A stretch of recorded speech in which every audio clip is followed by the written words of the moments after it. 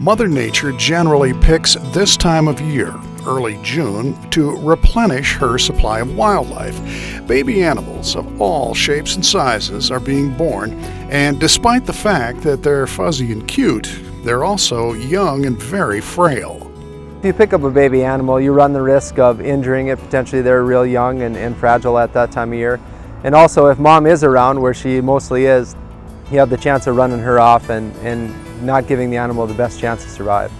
Some people choose to believe the old wives' tale that if you pick up a baby animal, human scent will rub off and the mother will not claim it. This is a common misconception that does a lot of harm to young wildlife. It's not true that if you pick up a baby animal that its mother will abandon it.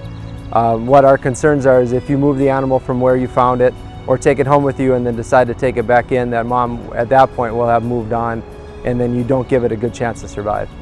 Because North Dakota has a lot of wide open spaces, it's more likely that hikers or bikers or joggers or pretty much anyone who spends time outdoors will stumble onto a baby animal.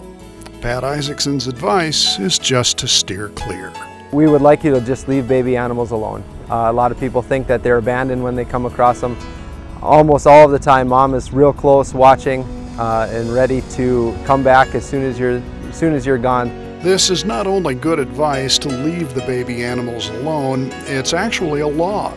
It's illegal to possess wild animals regardless of your good intentions. This is Tom Jensen, Outdoors.